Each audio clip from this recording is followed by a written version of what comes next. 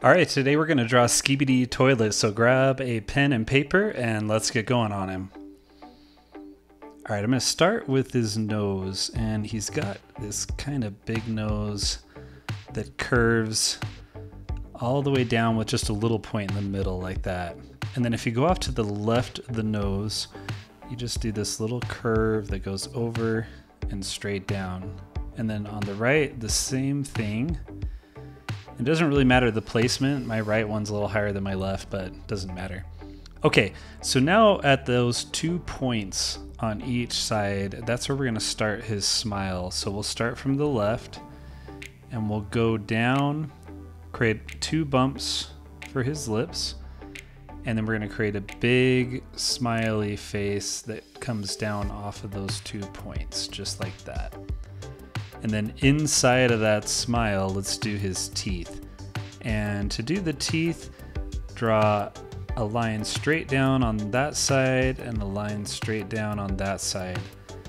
And then what we're gonna do is just gonna add some bumps right through the middle.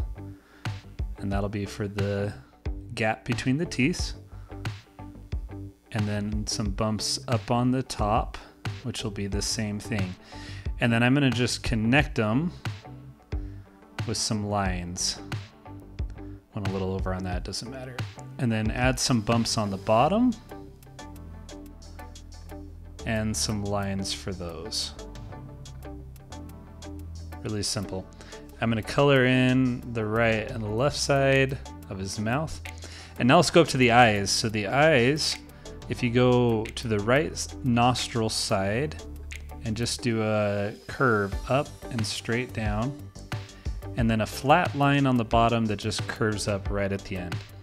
And we're going to do the same thing on the other side, just opposite. So curve up and down, and then a flat line with a curve at the end. And then inside the eyes, just do a circle with a little black dot in the middle of the circle. And just do that on both of them. All right, now the eyebrows are gonna be close to the same shape as the eye, just above it. And then what you'll do is add a straight line on the inside of the eyebrow that goes straight up and down, and then do the curve again, but have it kind of go right to the point. And same thing with the other one. You can do the straight line first if you want, and then we'll just curve them both. Now we've got kind of his basic look. I'm gonna do now a, like a very gradual V shape at the top uh, middle of where his eyebrows are. And then we'll curve in on both sides. And we're actually gonna do kind of two curvy bumps for his hair, just like that. And now for his face shape. So I'm gonna start on the left and I'm gonna just curve down and just create a very simple curved head shape that comes all the way around. Just like that.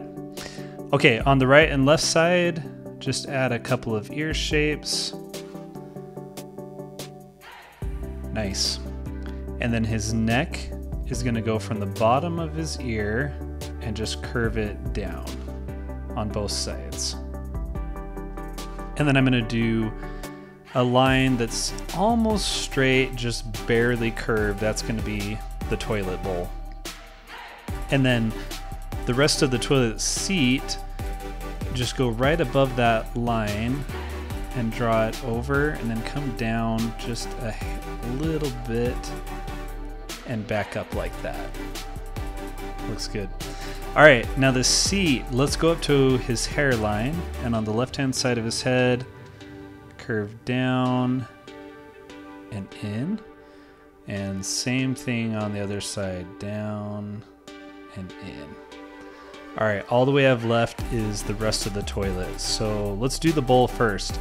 Go to the toilet seat again, and we're gonna just do a big half circular shape from both sides and then just draw a couple of diagonal lines down. So there's the seat. Now we got to do the tank, and the tank is basically one big uh, square with just rounded corners. So I'm going to do the top on each side just like that.